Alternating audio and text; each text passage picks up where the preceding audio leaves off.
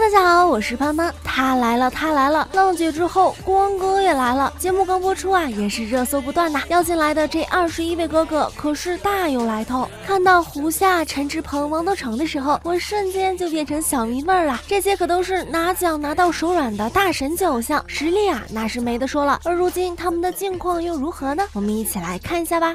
向天空大声的呼唤，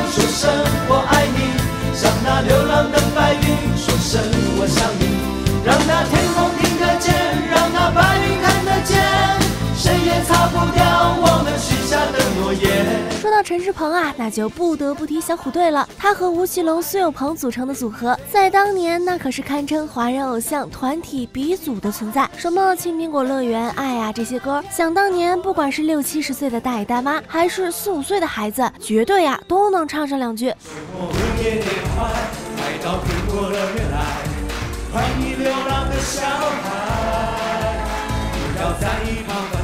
一起大声呼喊，向寂寞午夜说拜拜。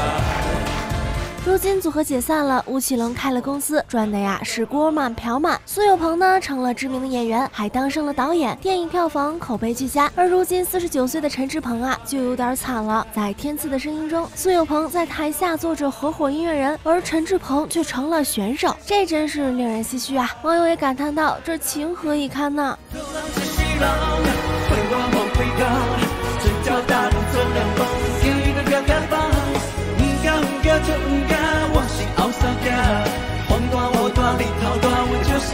可是一代人的青春偶像，飞轮海当年呢也是火出了天际啊！实不相瞒呀，我还偷偷的买过他们的贴纸呢。当年他们想要拿奖，还不是分分钟的事吗？不过现在啊，真是时过境迁，四个成员也早就过气了。汪东城在转型之后拍了几部剧，也是十分的一般。不知道他这一次能否在节目中成功再度出道翻红。那些年错过的大雨，那些年错过的爱情。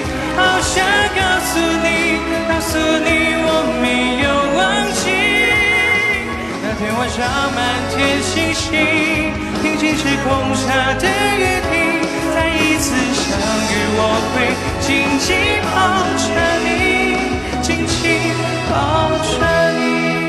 相信很多人喜欢胡夏都是从这首《那些年》开始的吧。胡夏也凭借着这首歌获得了多项大奖。以台湾超级星光大道第六届总冠军出道的他，被人们称为“清泉王子”。但在节目《天赐的声音》的舞台上，却遭到了评委们的强烈质疑。让我看到的是一个索然无味的一个商演的一个现场。我以前确实没有注意到你会有这么的驼背，一点都没有听到这个歌原本应该有的那种。那种扼腕的疼痛，这个话题啊也上了热搜，有许多网友都纷纷为胡夏打抱不平。我个人吧也觉得评委说的啊有些极端了，他还是很有实力的。